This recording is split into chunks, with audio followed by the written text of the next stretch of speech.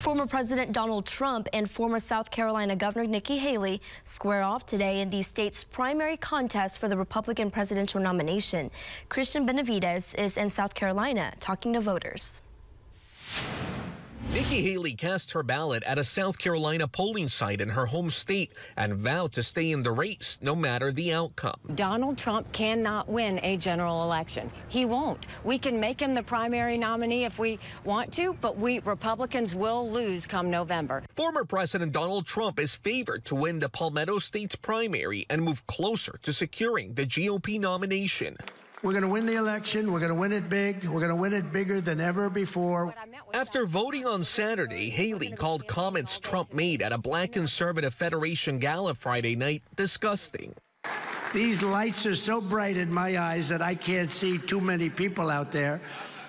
But, uh, I can only see the black ones. I can't see any white ones, you see? That's how far I've come. That's what happens when he goes off the teleprompter. That's the chaos that comes with Donald Trump.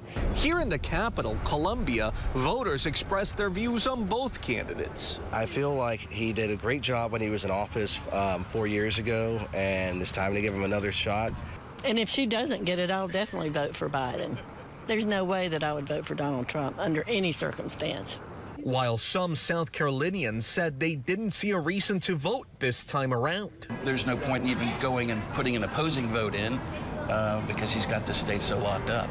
After Saturday's contest, the candidates have their eye on Super Tuesday when voters in 15 states and one territory go to the polls. Cristian Benavides, CBS News, Columbia, South Carolina.